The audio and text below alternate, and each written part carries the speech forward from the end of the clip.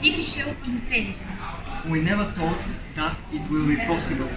But nowadays, that artificial intelligence will be able to help us in our lives and our occupations. We met with the experts on the topic of artificial intelligence. They gave us an answers to some of the most asked questions. There are artificially intelligent systems. There are robots that can, for example, analyze your facial expression and understand a little bit of what type of emotion you are express expressing. But that is still different from kind of having a conversation. We still think that the key elements of journalist work still need to be there for the human, for the journalist to do. All we're trying to do, or AI should do, is um, help and you know encourage them and empower the journalists in order to uh, come up with new ideas, creative ideas, uh, in order to be more effective in writing news stories. There are opinions that artificial intelligence is possible to replace people in journalism. Here's how the experts respond to these assumptions. Uh, I think the answer for a long time to come will be uh, no, because uh, there are a lot of things that artificial intelligence cannot do um, yet. If it will replace it, you mean?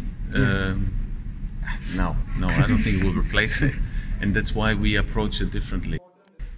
In addition to enhancing the creativity of journalists, artificial intelligence also helps in the battle with fake news.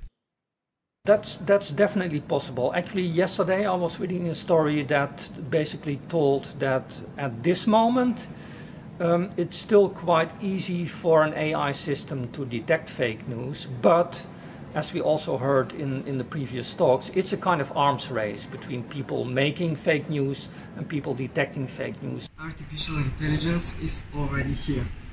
And we are particularly in that place to meet it. Come with us. I believe very much in the concept of robots uh, being, an, uh, being an addition to humans, doing things that humans are not very good at. I don't think that it's a danger in itself. I think it will, I mean, if robots are able to think more like people, it makes it easier to cooperate with robots. But I do think that we need to give these robots ethical norms, ethical values that they shouldn't do. It's all about mm, making sure that uh, you guide the journalist into the right direction rather than uh, write the story for him because it will never work. So creative tools, creative, creative thinking, creativity tools should encourage creative thinking. So it should help the journalist to see a news story or to see um, topics within the news stories and see how this could be used in order to write something about that topic. Without education, there is no innovation. So don't be afraid to meet artificial intelligence in your life.